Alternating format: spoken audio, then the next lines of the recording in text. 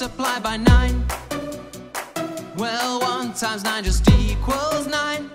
And then 2 multiplied by 9 equals 18. 3 nines are 27. And then 4 times 9 is 36. And 5 times 9 is 4.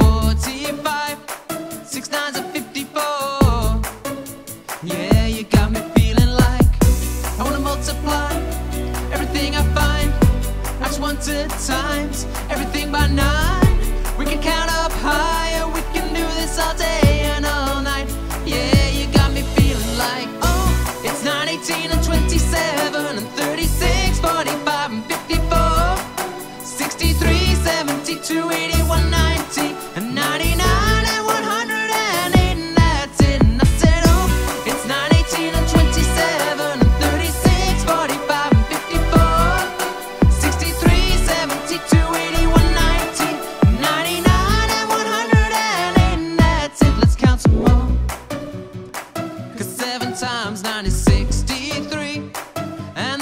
times 9 is 72.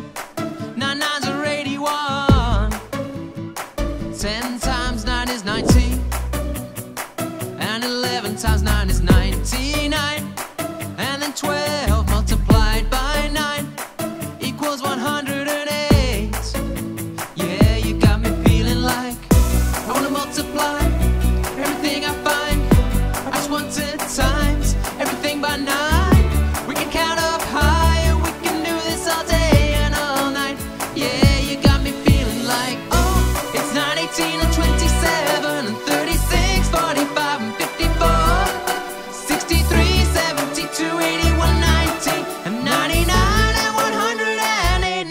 that's it. And I said, oh, it's 9, 18, and 27, and 36, 45, and 54, 63, 72, 81, 19, 99, and 108, and that's it.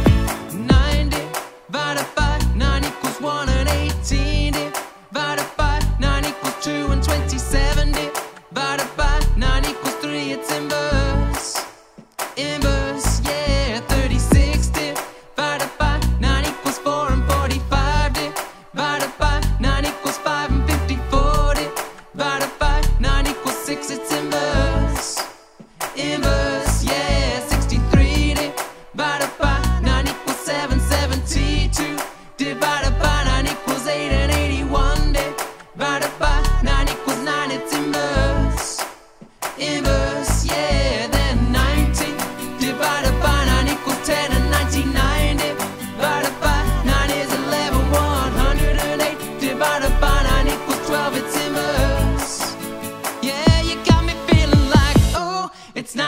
and 27 and 30.